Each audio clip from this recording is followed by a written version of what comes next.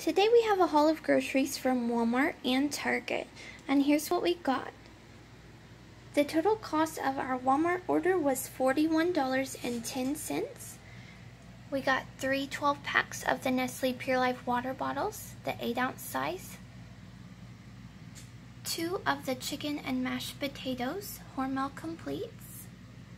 Two of the roast beef with mashed potatoes, and one turkey and dressing.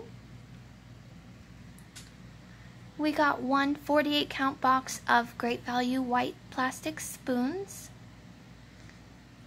a bag of the Hershey's Nuggets milk chocolate,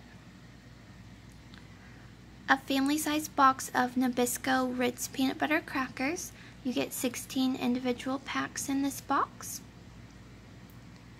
We got two of the Hot Wheels Mystery Model packs. You get one vehicle and a sticker in each pack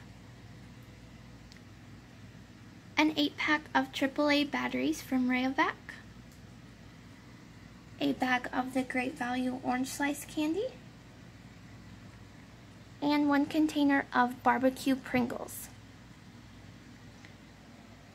And from Target, the total cost for this order was $28.39. And we got one box of 80 disposable gloves, a 40 count pack of heavy duty paper bowls from Up and Up. They're the 12 ounce size. And we got four boxes of the peanut butter Chex cereal. This has been hard to find in stock, so we stocked up on that. And this is our haul from Walmart and Target. Be sure to subscribe for more haul videos.